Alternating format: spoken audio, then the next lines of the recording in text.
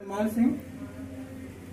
और मैं आपको केमिस्ट्री क्लासेस देने का प्रयत्न कर रहा हूँ।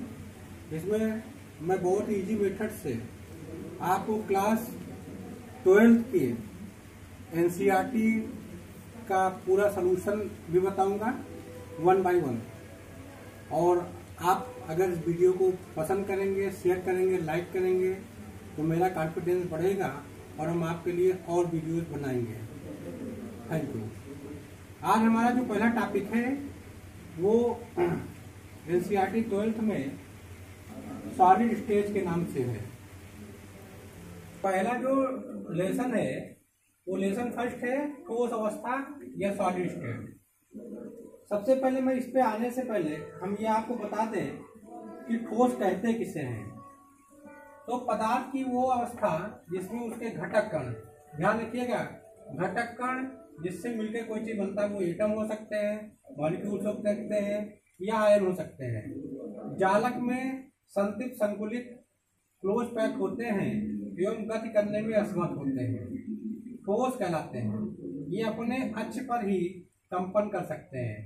यहाँ पर जो जालक शब्द है, आप इसको ऐसा लीजिए कि जैसे हम मिठाई की दुकान पे जाते हैं और कहते हैं कि बर्फ़ी पैक कर दो वो देखिए छोटी छोटी पीस बर्फ़ी की जो बिल्कुल लगा करके डब्बे में रख देता है। तो डब्बे का जो आकार होता है, उसमें फिक्स हो जाते हैं और बर्फ़ी के जो आकार होते हैं छोटे छोटे टुकड़े, वो बिल्कुल एक जैसे होते हैं। तो जो छोटे छोटे बर्फ़ी के टुकड़े होते हैं, उनको आप आयन मान सकते हैं, आप उसको एटम मान सकते हैं परमाणु मान सकते हैं मालिक्यूल मान सकते हैं या उनको अणु मान सकते हैं। और एक प्रकार का और धात्विक ठोस है, हम अभी बाद में उसके बारे में डिस्कस करेंगे।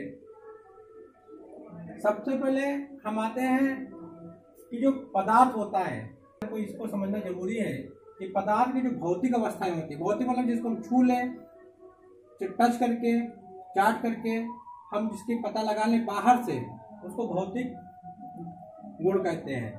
और भौतिक गुणों के आधार पर जो पदार्थ होता है, वो ठोस रूप में हो सकता है, द्रव रूप में हो सकता है और गैस रूप में हो सकता है। अच्छा ये बने किससे होते हैं? मेन चीज़ ये होते हैं कि जिनसे ये बने होते हैं, चाहे ठोस हो, चाहे द्रव हो, चाहे गैस हो, वो जो बने होते हैं, जिन तत्वों से मिलकर के बने होते उनको अवयवीकरण हो सक, करते हैं, संरचनात्मक इकाइयाँ भी कहलाती हैं घटक कण भी कह सकते हैं, या इंग्लिश में इसको स्ट्रक्चर यूनिट्स कहते हैं।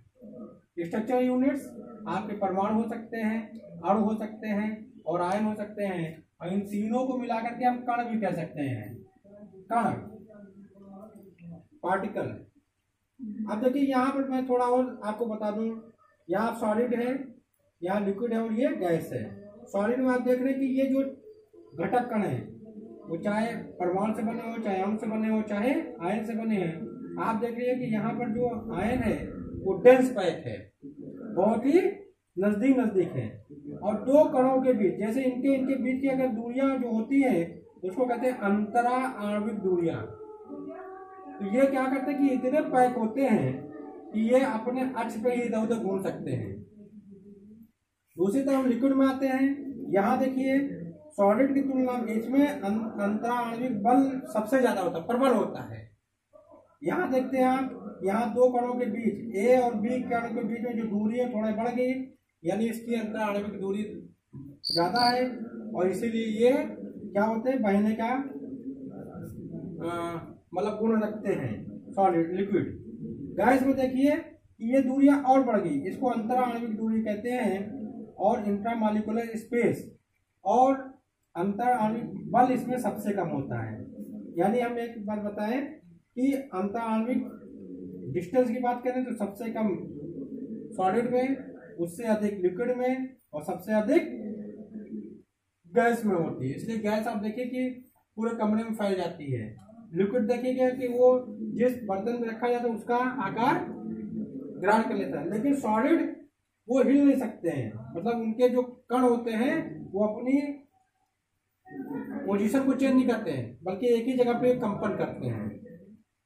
और ये तीनों जो हैं सॉलिड हो लिक्विड हो, चाहे गैस हो, वो बने परमाणु से बन सकते हैं, अणु से बन सकते हैं आयन से बन सकते हैं।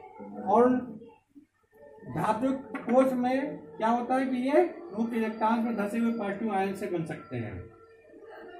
ये सब इनके कण भी कहलाते हैं और परमाणु और आयन ये इनकी इकाइयाँ, अवयवी इकाइयाँ भी कहलाती हैं। अब हम आते हैं कि प्रॉपर्टीज़ क्या होती है सॉलिड्स की। यानी ठोस, ये हमारा पेन जो है ठोस है, हम ठोस है। ठीक? हम भी तो परमाणु से मिलकर बने हुए बायोलॉजिकली अगर हम इसकी बात करें तो हम भी ठोस के मतलब अणुओं से मिलकर के बने हैं। हमारी भी जो संरचनात्मक और कार्यात्मक इकाई होती है बायोलॉजिकली हम उसको क्या कहते हैं? सेल कहते हैं। या जैसे हम मकान ले लीजिए, मकान में आप ईंटों को ले लीजिए। ईंट देखिए, एक ईंट एक ही आकार की होती है, उसको धीरे धीरे एक के ऊपर एक जोड़ते जाते हैं तो लैटिस बनता जाता है या पूरी लैटिस को हम दीवार कहते हैं। यहाँ पे देखिए, जो सॉलिड्स की प्रॉपर्टीज़ है, उसमें निश्चित आकार होता है, आयन होता है, आयतन होता है और द्रव्यमान होता है। यानी इसका निश्चित आयतन है, इस पेन का क्योंकि तो सॉलिड है, और इसका आयतन भी निश्चित है, और इसका द्रव्यमान भी, जितने किलो का उतना ही रहेगा।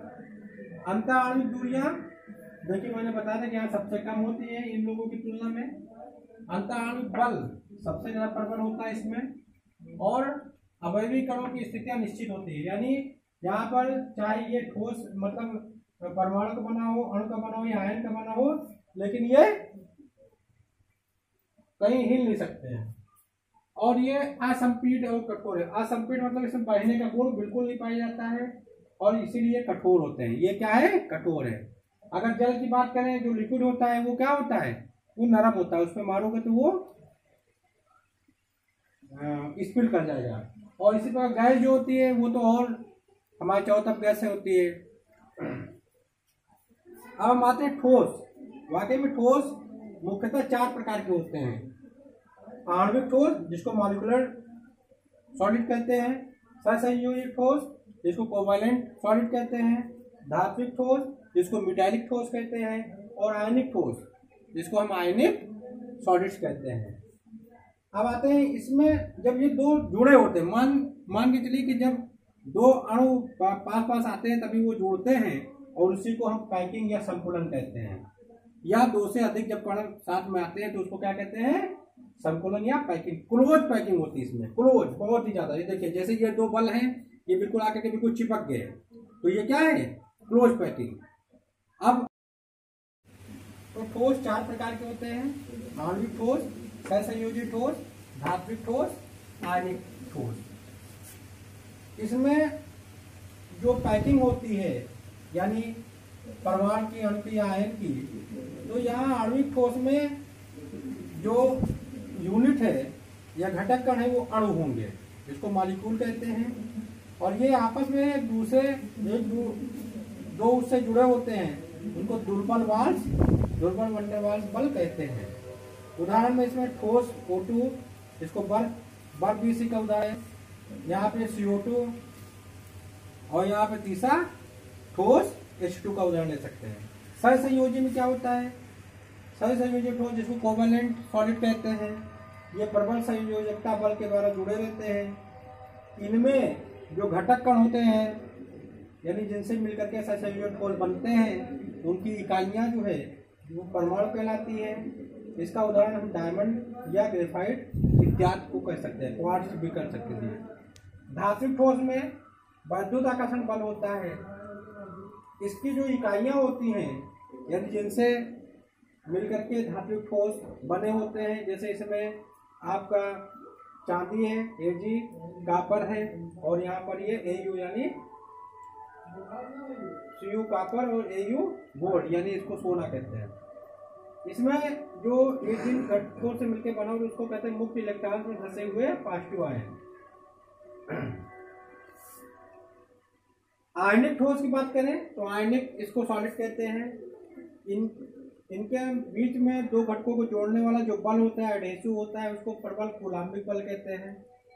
इनकी जो इकाइयाँ होती हैं, वो आयन आयन फॉर्म में होती है। ठीक? और आप जानते हैं कि आयन जो है दो ही प्रकार के होते हैं पॉजिटिव और निगेटिव जैसे यहाँ पे देखिए, मैंने उदाहरण दिया यहाँ पर के सी एल तो के सी एल में के प्लस है सी एल माइनस एक पॉजिटिव एक निगेटिव इजिप का एन सी एल जो नमक है, खाने वाला, हम लोग को जो खाते इसमें एक प्लस होगा, एक माइनस होगा। एम में इसकी वैलेंसी दो हो है और क्लोरीन की माइनस एक होती है, लेकिन यहाँ पे माइनस दो होगी क्योंकि यहाँ पे दो लगा हुआ है।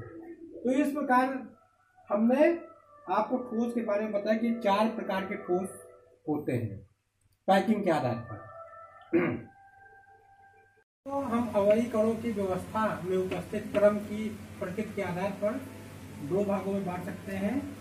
ए जो है, क्रिस्टलीय और बी इसका आर्टिस्टलीय है यहाँ सबसे पहले मैं आपको एक चीज़ बता दूँ कि जैसे मान लीजिए कि एक उदाहरण लीजिए कि ये एक यूनिट है ये। अगर किसी मकान में एक ही प्रकार की या एक ही भट्टे से लाई गई ईंट लिया जाए तो ये इसकी एक यूनिट है।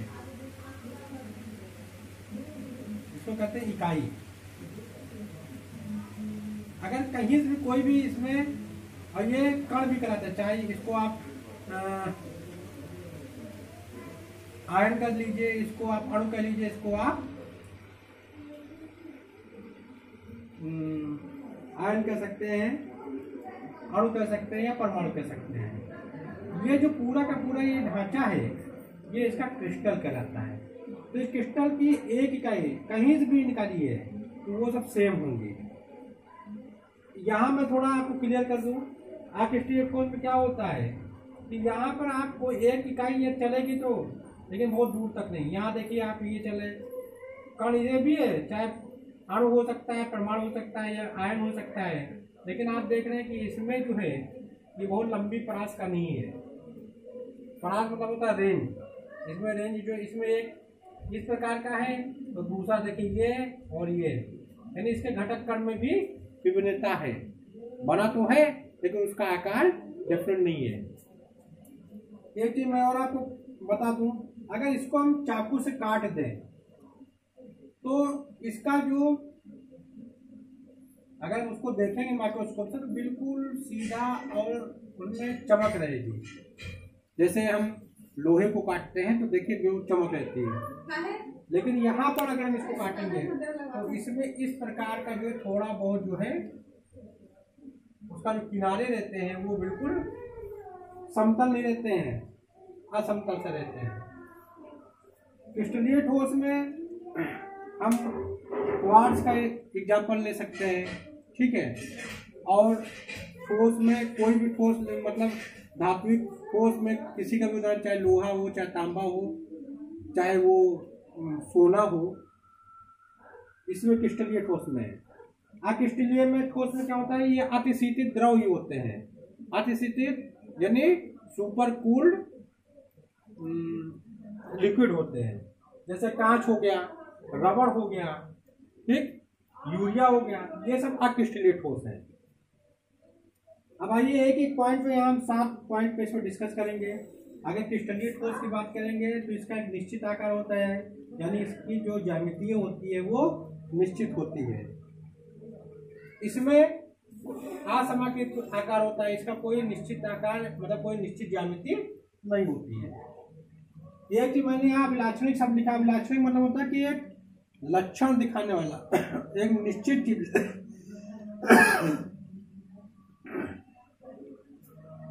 तो गलनांक जो होता है, इन मतलब क्रिस्टलाइन सॉलिड का निश्चित होता है, यानी अगर 100 डिग्री सेंटीग्रेड पे पानी जैसे उबलता है तो मैं पानी का एग्जांपल ले रहा हूँ तो वो उस सवा डिग्री पे उबल मतलब उबलेगा। ठीक? लेकिन इसमें ऐसा नहीं है। इसमें गलनांक निश्चित नहीं होता है, क्योंकि इनके जो कण होते हैं, इनको गलाने के लिए अलग अलग चीज़ों में अलग अलग जो है तापमान की आवश्यकता होती है, जिसपे ये सब गलते हैं।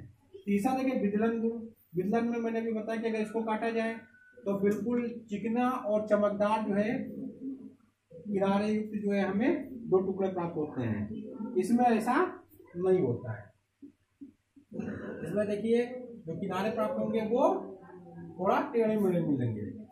गलन उष्मा निश्चित होती है क्रिस्टलाइन ठोस की और अभिलाक्षणिक होती है। अभिलाक्षणिक के बारे में मैंने आपको बता दिया इसलिए मैंने लिखा है।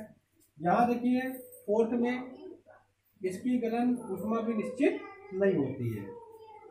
प्रकृति अगर प्रकृति नेचर की बात करें तो यह सत्य ठोस कहलाते हैं। और ये असत्य ठोस कहलाते हैं, या इनको सुपर कूल्ड सॉलिड कहते हैं। दैसिकता की बात करें तो यहाँ विषम दैसिकता होती है, और इसमें समदैसिकता होती है। छठा पॉइंट समदैसिकता और इसमें, यानी क्रिस्टलाइन सॉलिड में विषम दैसिकता होती है। सातवां अवयव कणों की व्यवस्था में क्रम। यानी कैसे लगे हैं कण चाहे वो आयन हो, मॉलिक्यूल हो या एटम हो, वो कैसे लगे, किस व्यवस्था में लगे हैं? तो इसमें देखिए कि देश प्रासी व्यवस्था, यहाँ चले तो सब जगह यहाँ से यहाँ तक की बिल्कुल एक जैसी है। यहाँ पे जो व्यवस्था होती है, एटम, परमाणु, अणु या आयन के लगने की, वो शॉर्ट रेंज होती है। यहाँ देखिए ये दूसरा है यहाँ पे दूसरा फिर यहाँ पे और बढ़ गया है। तो इस प्रकार यहाँ पे शॉर्ट रेंज दर्शाती है।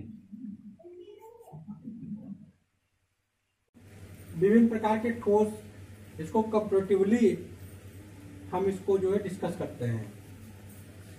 मैंने इसको जो है ठोस का प्रकार अवयवीकरण, बंधन आकर्षण बल, उदाहरण, भौतिक प्रकृति विद्युत चालकता और गलनांक में डिवाइड करें। यानी कुछ साल, सात बेस पे।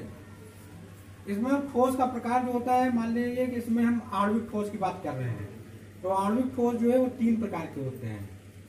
अध्रुवी नॉन पोलर ध्रुवीय पोलर और हाइड्रोजन बांडेड यानी हाइड्रोजन से आबंधित रूम टेम्परेचर पर अध्रुवी जो होते हैं, वो लिक्विड या गैस होते हैं। ध्रुवीय जो होते हैं, ठोस, वो लिक्विड या गैस होते हैं। और हाइड्रोजन आबंधित यानी जो ठोस या जो मालिकुलर ठोस या सॉलिड जो है, वो रूम टेम्परेचर वाष्पशील द्रव होते हैं, मुलायम ठोस होते हैं। ये किससे मिलके बने होते हैं? तो आदमी जो ठोस है, वो अणु से बने होते हैं, ध्रुवीय ठोस भी अणु से बने होते हैं और हाइड्रोजन आबंधित जो ठोस होते हैं, वो भी अणु से बने होते हैं।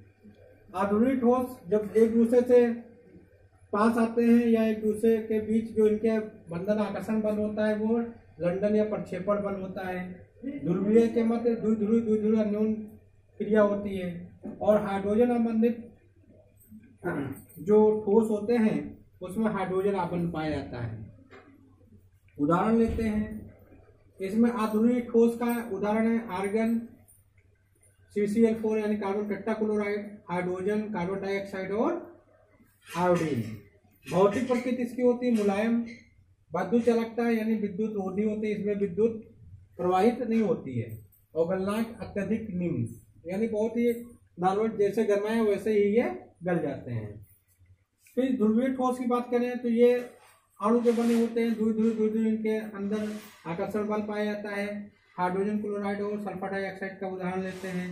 बहुत ही प्रकार मुलायम होते हैं छूने में, और विद्युत रोधी होते हैं, तथा इनका गलनाक और निम्न होता है। उसके बाद आते हैं हाइड्रोजन आबंधित जो ठोस होते हैं उनका वही कण अणु, यानी अणुओं से मिलकर बने होते हैं। इन इन अणुओं के मध्य जो हाइड्रोजन आबंध होता है जिससे एक दूसरे से चिपके रहते हैं। उदाहरण है इसका एस टू ओ बर्फ़, यानी बर्फ़ जो है। यहाँ भौतिक प्रकृति इसकी कठोर होती है, छूने में ये बहुत कठोर लगते हैं। और ये भी कोई विद्युत जो है, विद्युत के कुचालक होते हैं। गलनाक इनका भी निम्न होता है। अब यहाँ हम सेकेंड स्टेप पे आयनिक ठोस को रखते हैं। इसके अवयव यानी ये आयन से मिलकर के बने होते हैं। इनके मध्य जो आकर्षण बल पाया जाता है वो गुलामी या स्थिर विद्युत बल पाया जाता है। उदाहरण ले लेते हैं इनके अंदर एन ए सी एल यानी इसके ऊपर ये आवेश हम नहीं रखते हैं, लेकिन इसमें एक पॉजिटिव होता है, एक निगेटिव होता है। ठीक? उन दो मिल मतलब धन धन पॉजिटिव चार्ज से और निगेटिव चार्ज से मिलकर के बनते हैं। न्यूट्रल होते हैं, कठोर होते हैं, परंतु भंगुर होते हैं। भंगुर का मतलब होता है जैसे नीचे गिरेंगे, जैसे नमक ले लीजिए, उसको पटक दीजिए, उसके, उसको तो टूट जाएँगे, टुकड़ों में, उसको भंगुर कहते हैं। ठोस अवस्था में क्या होता है कि विद्युत ठोस नमक ले लीजिए, उसको विद्युत को टच कर दीजिए, उसमें करंट नहीं आएगा। लेकिन अगर उसी नमक के मतलब जो ढेले को आप पानी में घोल दीजिए और फिर उसको छुइए तो बहुत ही तेज करंट मारता है। इसका जो गलनांक होता है उच्च होता है। उच्च इसलिए होता है क्योंकि इनके मध्य जो बाण बना है, इसको तोड़ने में एनर्जी ज़्यादा लगती है। धात्विक ठोस की बात आए, धात्विक ठोस में हम यहाँ पर, मैंने एग्ज़ाम्पल यहाँ दे दिया, देखिए, ये इलेक्ट्रॉन है सब, उसके मध्य में धनायन है। तो विस्थानी के इलेक्ट्रॉन्स के समुद्र में धनायन। ये चीज़ मतलब विद्युत आकर्षण बल द्वारा एक दूसरे चिपके रहते हैं। उदाहरण के रूप में आयरन है कापर है और यहाँ पर चांदी है और ये मैग्नीशियम है। भौतिक प्रकृति क्या होता है? कठोर होते हैं। आपने लोहा देखा होगा, सोना देखा होगा, कठोर होते हैं आघात वर्धे होते हैं, यानी इनको पीटा जा सकता है और तन, यानी इनके तार खींचे जा सकते हैं। विद्युत चालक होते हैं। जितनी भी धातुएँ होती हैं, क्योंकि वो पॉजिटिव आयन जो है देते हैं, ठीक? तो और निगेटिव आयन के साथ करते हैं और अत्यधिक कुछ होते हैं। इनका गलनांक भी यानी इनको गलाने में बहुत ज़्यादा ऊर्जा की ज़रूरत होती है। फोर पॉइंट में संयोजक? ठोस अथवा नेटवर्क ठोस, जिसको कहते हैं। इनका अवयवी जो कण होता है, वो एटम्स होते हैं यानी परमाणु होते हैं। इनके मध्य जो बल पाया जाता है, वो संयोजक बंध पाया जाता है।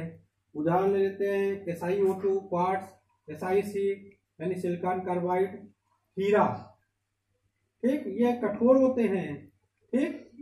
और विद्युत रोधी होते हैं। इनका जो गलनांक होता है, अत्यधिक उच्च होता है।